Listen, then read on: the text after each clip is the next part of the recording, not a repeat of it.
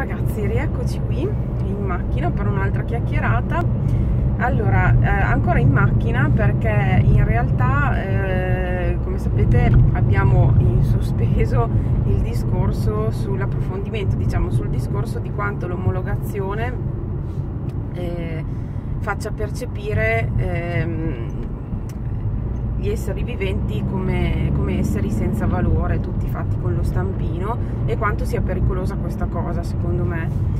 Eh, però come vi dicevo, mh, vi ho accennato l'argomento chiacchierando così al volante, mh, però preferirei approfondirlo in un video un pochino più ragionato e strutturato, insomma creato un po' meglio, eh, magari girato in casa, insomma, o anche all'aperto, però ecco, non, non mentre guido. Però ehm, lo spunto invece per questo video eh, l'ho preso e ho sentito l'urgenza di farlo proprio perché l'altro giorno ehm,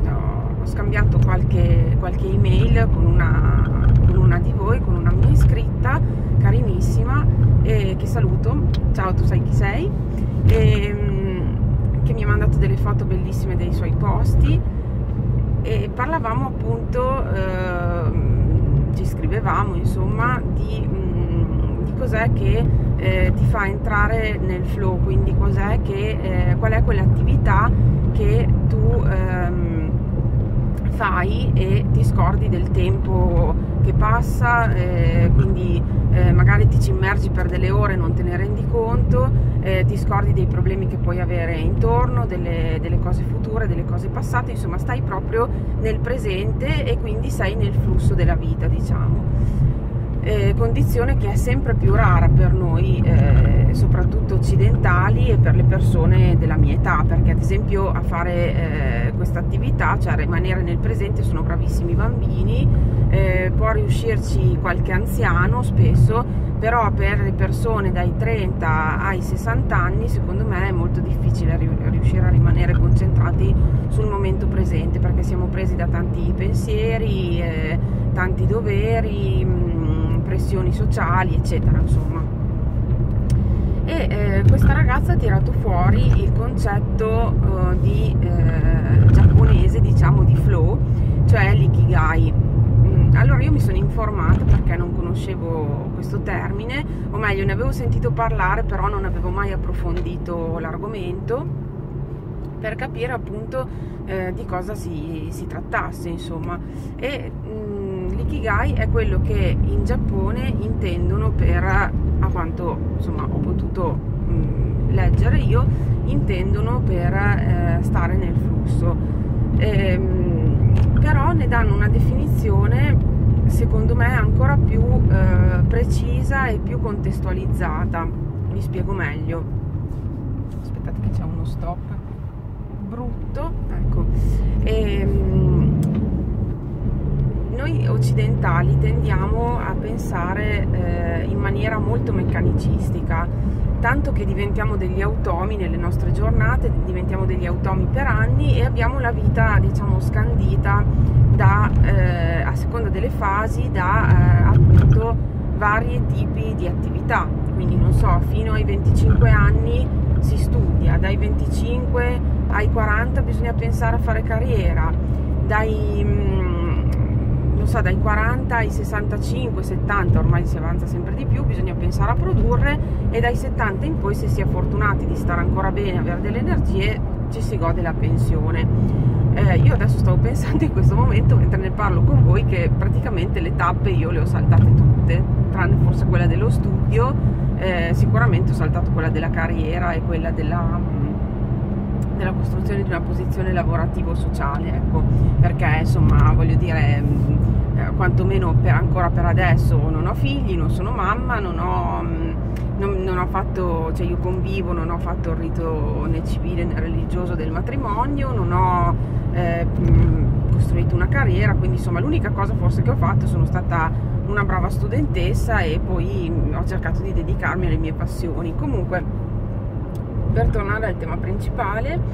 dicevamo l'ikigai perché come concetto è affascinante e secondo me è molto importante perché noi appunto oltre a vivere una vita in termini eh, meccanicistici, quindi automatizzati, eh, ci sentiamo quasi in colpa a livello sociale se non eh, seguiamo le varie tappe. Mm, io per esempio, non so se capita anche a voi, però spesso eh, mi sento in imbarazzo quando parlo con le persone di, eh, di quello che eh, cioè di, di, di, come mi vanno le cose adesso, ad esempio, insomma, quello che faccio, che non faccio, eccetera, no? Eh, mi trovo sempre un po' pesante spiegare la mia situazione, le, la mia condizione di vita particolare e la cosa è abbastanza ridicola mm, perché è proprio una cosa quasi istintiva come risposta perché non, non, ha un grosso fondamento logico, nel senso che mm, io non mi sono mai fatta particolari problemi di fatto a vivere come mi sentivo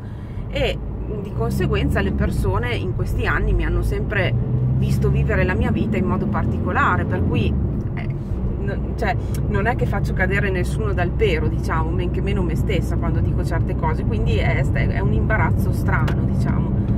Però, eh, però, insomma mi capita ecco, di sentirmi imbarazzata perché non, devo giustificare insomma quello che faccio, non faccio, eccetera. E, ehm,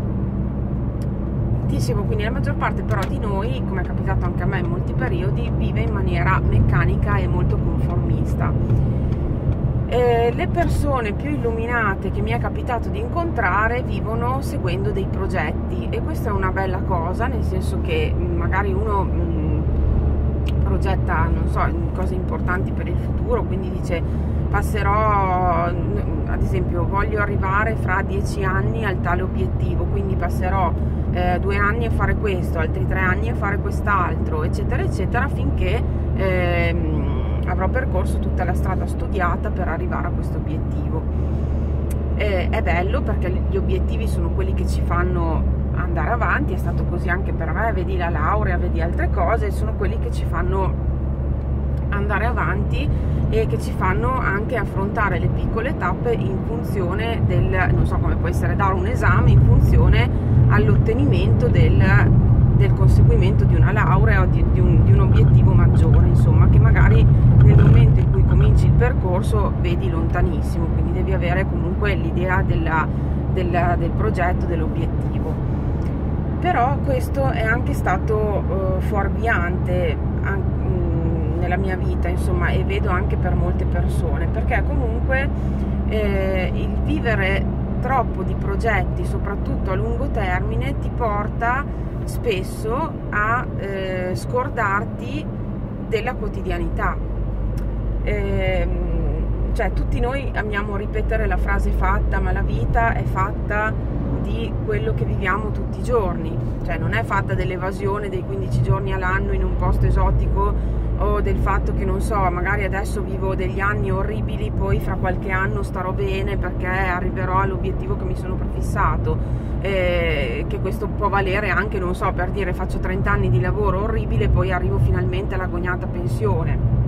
ma può valere anche per periodi più brevi e per cose meno pesanti.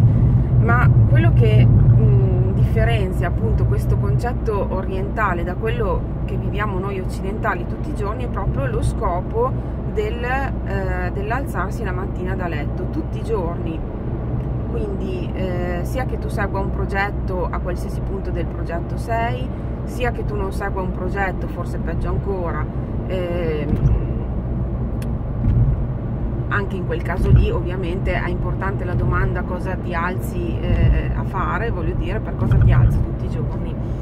E, ehm, e secondo me è importante centrare sempre,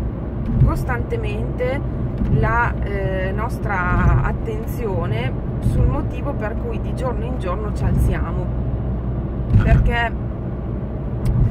anche quando abbiamo un progetto a lungo termine, mh, mm, la vita comunque è veramente fatta, cioè noi l'unica cosa che abbiamo di, di, di certo nella vita è il momento che stiamo vivendo in questo, in questo preciso istante. Quindi comunque noi dobbiamo essere sempre eh, centrati su quello che viviamo in questo particolare giorno. Quindi eh, se anche io mm, mi alzo perché dico sì, io oggi mi sto alzando perché eh, fra cinque anni sto facendo un percorso che fra cinque anni mi porterà al raggiungimento del tale obiettivo, ok? Però io oggi per che motivo mi alzo? Cioè cos'è che mi spinge a alzarmi dal letto oggi che non sia eh, verificabile fra cinque anni, diciamo? Eh, secondo me è importante porsi questa domanda non solo periodicamente ma proprio quotidianamente perché altrimenti si corre il rischio di perdere di vista quello che eh, per noi eh, è veramente importante perché come più volte ho, riflettuto con voi qui, insomma ho riflettuto da sola, con gli amici, eccetera, sul fatto che ad esempio per l'anima, che è la nostra parte credo più importante, eh, il tempo non esiste, cioè il concetto di tempo non esiste. Io se non sto bene, anche se dico alla mia anima, cioè se passo delle giornate che non mi soddisfano e dico alla mia anima, vabbè dai, tranquilla che fra cinque anni starai bene, eh, sì, la mia parte razionale può accettarla questa cosa, ma la parte animica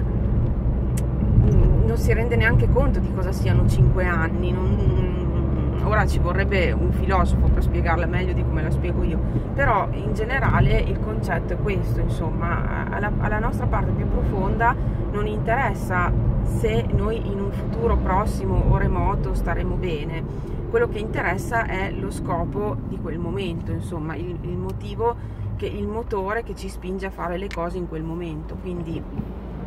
dobbiamo pensare sempre uh, al fatto che eh, stare nel presente, quindi vivere nel flow, significa proprio anche pensare davvero a, il, al motivo per cui facciamo quello che facciamo. E quindi è anche secondo me una buona guida diciamo per non perdersi nei meandri poi della, dei bisogni degli altri del, del, dire ma sì dai tanto adesso sto così ma poi fra qualche tempo starò meglio allora adesso mi, mi permetto di eh, sgarrare di non far questo di non far quell'altro di anche passare dei giorni eh, completamente contro la mia natura perché tanto poi so che riuscirò a vivere secondo la mia natura. Sono sono questioni che devono essere verificate, invece il benessere deve essere verificato nella quotidianità, non a distanza di anni. Questo non significa che uno non debba affrontare periodi difficili o tenere i denti stretti per raggiungere degli obiettivi. Eh, io vi riporto sempre il mio esempio dell'università. Eh, chiunque l'ha fatta, comunque anche qualsiasi altro percorso di studi, sa che eh, anche se tu fai la facoltà che ti appassiona, come è stato il mio caso, io l'università l'ho fatta puramente per vocazione, per passione, eh, passi quei periodi in cui devi seguire un corso che non ti interessa tanto, devi avere a che fare con una materia in cui magari non sei particolarmente brillante e quindi devi far fatica per entrare mh, mm, all'interno di, di, questo, di, questa materia, di questo soggetto. E, mh, e quindi quando ti alzi tutte le mattine e affronti questa cosa mh, mm, è quanto mai importante secondo me chiederti perché lo fai e per cosa ti alzi quella mattina perché in quel caso lì l'obiettivo a lungo termine è il motore che ti spinge a superare quella cosa. Un po' come quando eh,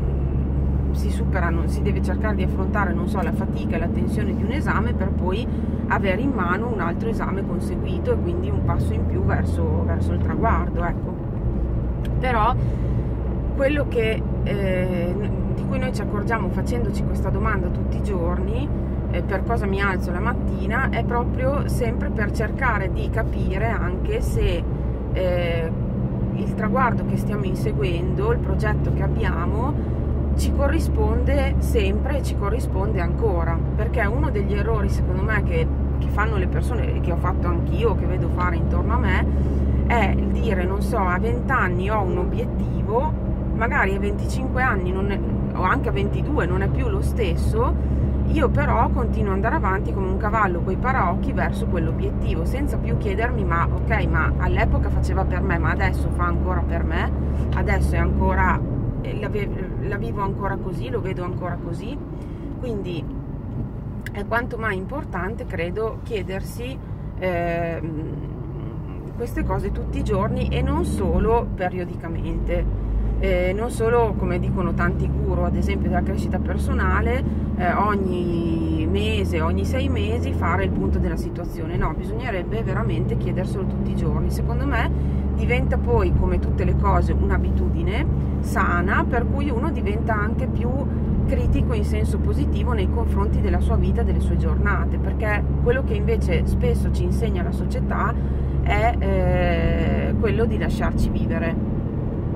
oppure di come dovremmo vivere.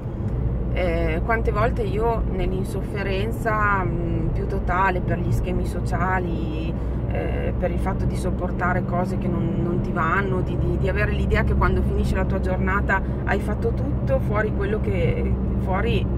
che quello che avevi deciso tu e che volevi fare, io mh, mm, insomma spesso andavo in cerca di confronto con le persone su questi argomenti e dicevo ma, eh, ma tu come fai a starci dentro, come fai a vivere così? eccetera e tante volte mi sono sentita rispondere eh beh ma la vita è questa, cioè la vita do, dopo, che, dopo i 25 anni è questa, cioè una serie di doveri, responsabilità, casini che ti succedono e a cui devi fare, far fronte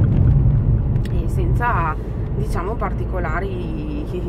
cioè senza particolari eh, divagazioni ecco, rispetto a questo sentiero.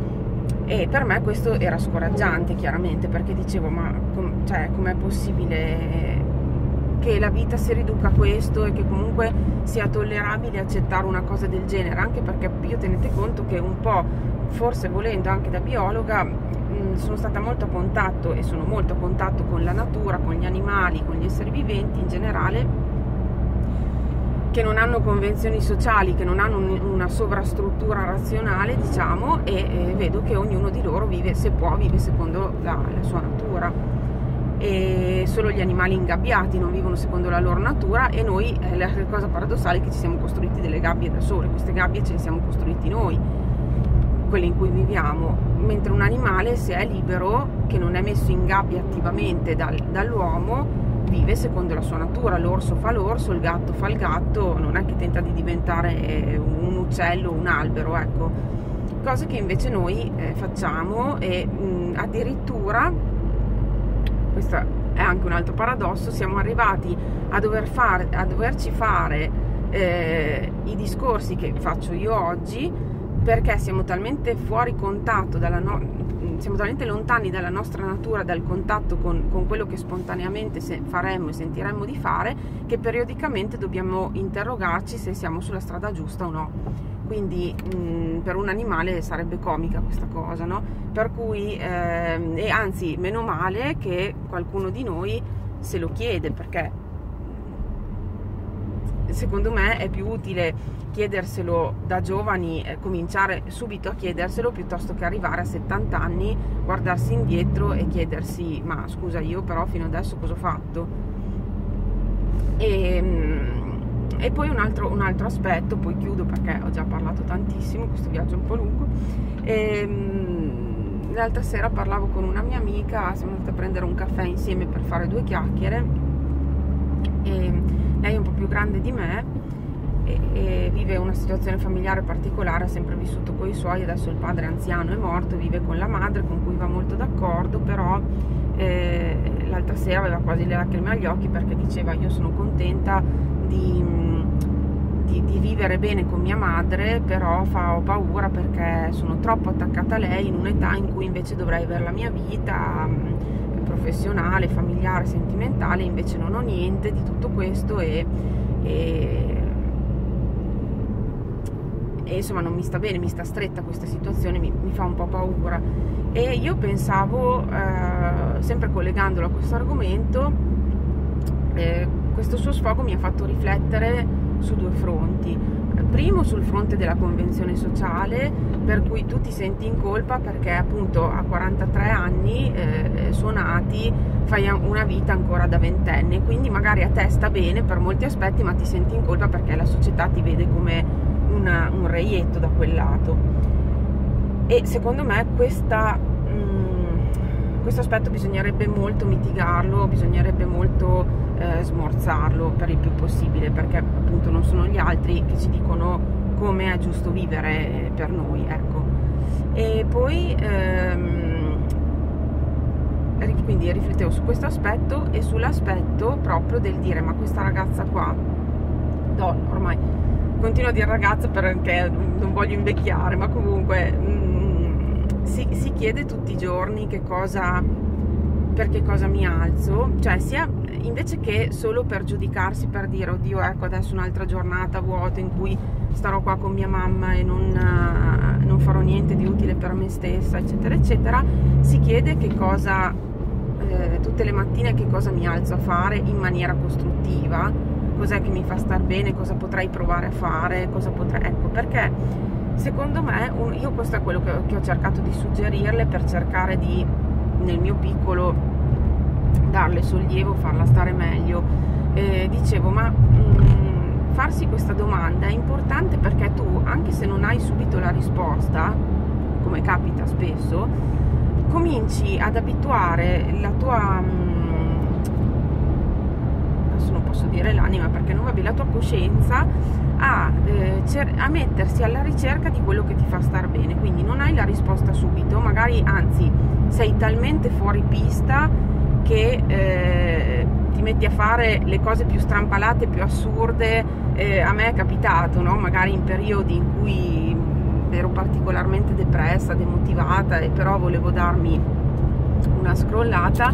che ero talmente lontana dalla mia natura, da, non, non, mi, non, mi, conoscevo più, per cui cosa succedeva? Che ehm, mi mettevo a fare delle attività che secondo me in quel momento lì erano buone per me, magari per, per delle idee che mi ero fatta, no? anche inculcate da altri, eccetera. Eh, e poi mi trovavo ridendo a tornare a casa, a volte ridendo veramente di me stessa, ridendo in senso buono, dicendo ma cosa cavolo sei andata a fare? Mm, però anche quello serve perché comunque tu ti educhi a farti la domanda e eh, come diceva Edison, no? quando fallisci non hai fallito, hai trovato solo mille modi in cui una cosa non va fatta. Quindi secondo me anche quello spirito ti aiuta a, a diventare più critico in senso positivo verso te stesso e a dire ma eh, che cos'è che mi farebbe alzare la mattina volentieri, cos'è che starei bene a fare e quindi comunque mh, hai questa spinta a, eh, a ricercarlo quello che ti fa star bene e a volte secondo me ti si possono aprire delle... Mh, dei mondi sconosciuti. Vi racconto solo questa, giusto per lasciarvi con un messaggio positivo dopo questi pipponi, insomma, un po', un po pesanti anche da, da digerire. Eh, stavo facendo ancora l'università, era un periodo in cui mi ricordo davo tanti esami, però insomma ero stanca, ero un po' demotivata così. E una de, la, la, mia migliore amica di sempre, diciamo una, una persona meravigliosa, eh, una ragazza che ha fatto l'università con me, eh, ha visto appeso in una bacheca nella nostra facoltà, perché all'epoca internet non era così diffusa, quindi ancora si andava per annunci stampati, l'annuncio di, una, di un ragazzo, di un artista che faceva lezioni di eh, acquerelli naturalistici, quindi illustrazioni botaniche, eccetera. Noi, essendo del settore, eh, per dire in alcuni esami c'era addirittura richiesto di disegnare le strutture ossee, le strutture muscolari, gli organi, eccetera. E quindi mi fa dai perché non ci iscriviamo a questo corso? E io dicevo ma io sì da piccola disegnavo, però poi non è che è una cosa che ho mai coltivato tanto, no? mi trovavo spesso a disegnare come anche però a leggere, a scrivere eccetera, quindi non è che è una cosa che ho coltivato particolarmente sopra le altre e ho accettato. In quel momento lì ho detto ma sì dai facciamolo, insomma avevo un po' di soldi da parte, ho detto sì dai facciamolo e vediamo come va insomma. E mi si è aperto un mondo, tanto che poi per anni ho lavorato con le illustrazioni, mh, mm, ho tirato fuori dei talenti che mai pensavo di avere, come anche poteva essere un buco nell'acqua totale. Alcune persone hanno seguito il nostro esempio, hanno capito che non faceva per loro, magari perché non avevano la mano, non avevano la pazienza, non non ci vedevano diciamo una, un'utilità ecco, per loro stessi e quindi hanno, hanno, smesso, però si sono accorti magari che erano tagliati per qualcos'altro. Quindi mh, per dirvi, anche da una semplice cosa così può nascere, si, si, possono aprire dei mondi e soprattutto si apre l'abitudine di chiedersi cosa, cosa è giusto per noi e cosa fa per noi. Niente ragazzi io vi saluto perché sono quasi arrivata e soprattutto perché ho parlato tantissimo. E un bacione a tutti e a presto con l'argomento che vi avevo promesso. Ciao